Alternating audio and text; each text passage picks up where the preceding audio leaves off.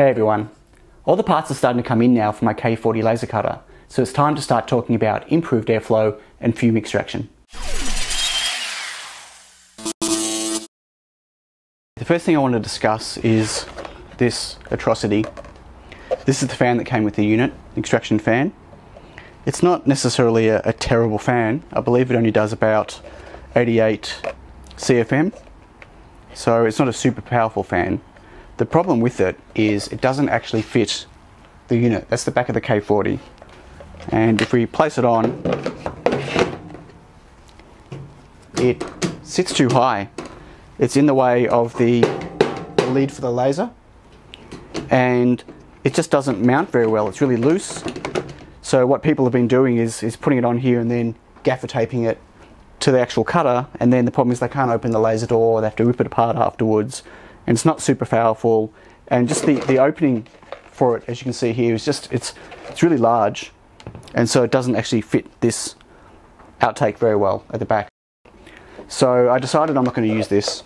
I'm just going to uh, put that out of the way, and instead I'm going to use this. This is an inline fan. Take the cardboard out.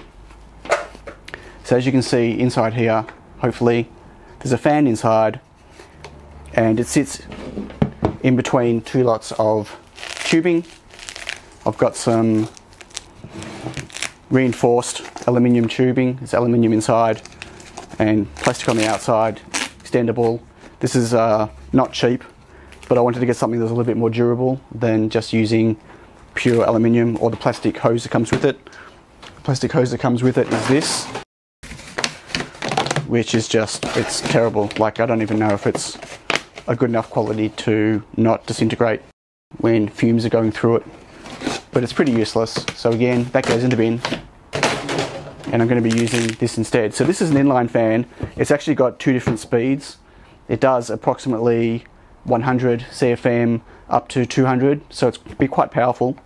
It's also obviously gets noisier when it's on the higher speed. And to attach this to the unit, I actually designed and printed this piece here. I actually had to build it in two halves because my 3D printer is not big enough to print this in one piece. And then this attaches into the slot. It's a bit of a tight fit on purpose. And that sits just in there. It's already quite tight as it is. But to make it even better, I bought myself some of this aluminium insulation tape.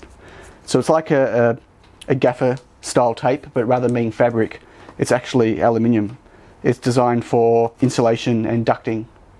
And so I'm going to use this silver tape to seal this in place. And then just using some clamps, 100 mil clamps, I'll be able to attach the hose to the fan.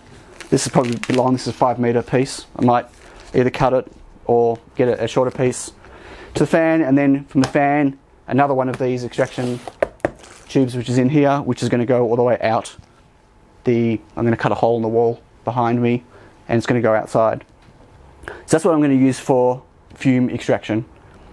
One of the things you really need to be careful of with any laser cutter is that sometimes it's just extracting smoke which is fine or it's uh, extracting some debris from the cut but depending on what you're cutting, it could actually be extracting toxic fumes.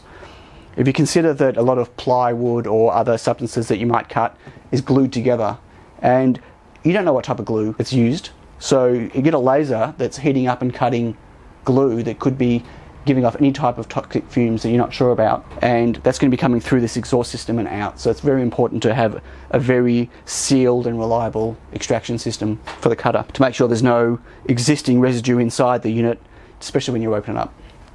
I need to obviously still put all this together, but I just wanted to run through all of the, the items that I will be using instead of the stock standard extraction fan and tube.